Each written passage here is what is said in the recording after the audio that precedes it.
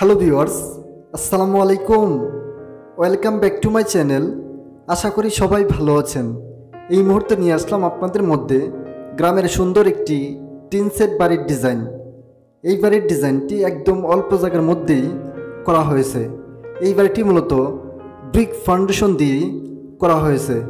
এই বাড়িটির দৈর্ঘ্য হল ছাব্বিশ ফিট, প্রস্থ উনিশ ফিট। এই বাড়িটি টোটাল চারশো চৌরানব্বই স্কোয়ার ফিটের মধ্যে করা হয়েছে। প্রায় ওয়ান পয়েন্ট ওয়ান থ্রি শতক জমিতে এই বাড়ির ডিজাইনটি করা হয়েছে। এই বাড়িতে টোটাল তিনটা বেডরুম ও সামনে সেট একটি বারান্দা।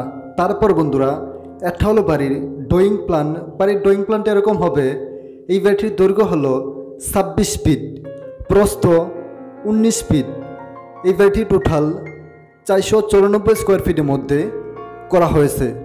এই বাড়িতে টোটাল তিনটা বেডরুম, দুইটা মেন বেডরুম, একটি বারান্দার মধ্যে পকেট রুম ও সামনে সাইডে একটা বারান্দা। তো বন্ধুরা, বাড়ির ড্রয়িং প্ল্যান্ট এরকম হবে।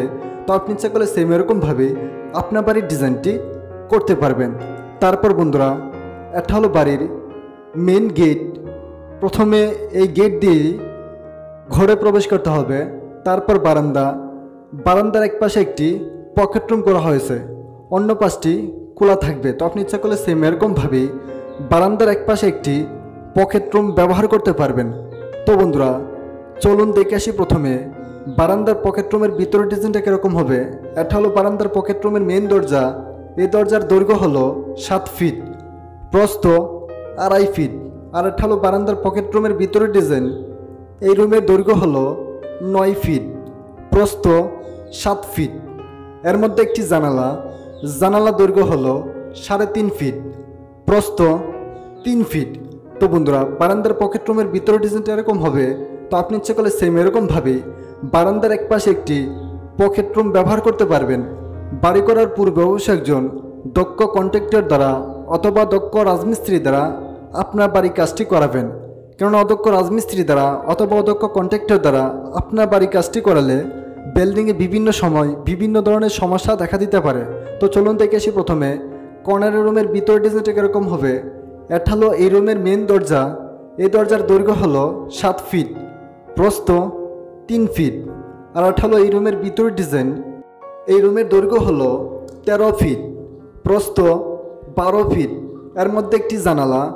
জানালার দৈর্ঘ্য হলো চার ফিট প্রস্থ তিন ফিট তো বন্ধুরা এখনও যারা আমার চ্যানেলটা সাবস্ক্রাইব করেন নাই প্লিজ আমার চ্যানেলটা সাবস্ক্রাইব করে রাখুন। আর নতুন নতুন বাড়ির ভিডিও পেতে পাশের বেলাইকুনটিতে ক্লিক করে রাখুন। আর অলরেডি যারা আমার চ্যানেলটা সাবস্ক্রাইব করেছেন, তাদেরকে অসংখ্য ধন্যবাদ। তো বন্ধুরা, এই রুমের সামনে সাইডে তালা বাসন রাখার জন্য আঠারো ইঞ্চি করে শেল ব্যবহার করা হয়েছে। তো আপনি ইচ্ছে করলে সেম এরকমভাবে প্রত্যেকটি রুমের সামনে সাইডে তালা বাসন রাখার জন্য আঠারো ইঞ্চি করে শেল ব্যবহার করতে পারবেন। এক রুম থেকে অন্য রুমে আসা যাওয়া করার জন্য ভিতর সাইডে একটি দরজা দেওয়া হয়েছে। এই দরজার দৈর্ঘ্য হলো সাত ফিট প্রস্থ তিন ফিট আর এটা হলো এই রুমের ভিতরের ডিজাইন। এই রুমের দৈর্ঘ্য হলো তেরো ফিট, প্রস্থ বারো ফিট। এর মধ্যে দুইটি জানালা। জানালার দৈর্ঘ্য হলো চার ফিট, প্রস্থ তিন ফিট। দুইটি জানালার দৈর্ঘ্য প্রস্থ কী হবে? দুইটি জানালাতে স্টিলের জানালা ব্যবহার করা হবে। তো বন্ধুরা, আপনারা যদি আপনাদের বাড়িতে প্রত্যেকটি জানালায় স্টিলের জানালা ব্যবহার করতে চান সেক্ষেত্রে চার ফিট বাই তিন ফিট প্রত্যেকটি স্টিলের জানালার মূল্য হবে সাড়ে তিন থেকে চার হাজার টাকার মতো। ও প্রত্যেকটি দরজায় যদি স্টিলের দরজা ব্যবহার করতে চান, সেক্ষেত্রে সাত ফিট বাই তিন ফিট প্রত্যেকটি স্টিলের দরজার মূল্য হবে চার থেকে সাড়ে চার হাজার টাকার মতো। তো বন্ধুরা, এই বিল্ডিংয়ের উপর সেটে কাঠ ব্যবহার করা হয়েছে। তো আপনি ইচ্ছে করলে সেম এরকমভাবে কাঠের পরিবর্তে লোহার অ্যাঙ্গেল ব্যবহার করতে পারবেন। তো বন্ধুরা এই ভিডিওতে কোনো কিছু বুঝতে সমস্যা হলে আমাদের নাম্বারটি ভিডিও ডিসক্রিপশন বক্সে দেওয়া আছে। যে কোনো প্রয়োজনে আমাদের সাথে যোগাযোগ করতে পারবেন। তো বন্ধুরা, এখন আমরা জানব এই বাড়িতে কি কি মাল মেটেরিয়ালস লাগবে।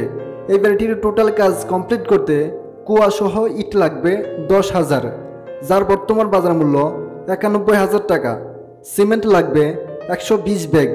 যার বর্তমান বাজার মূল্য উনপঞ্চাশ হাজার আটশোশো টাকা।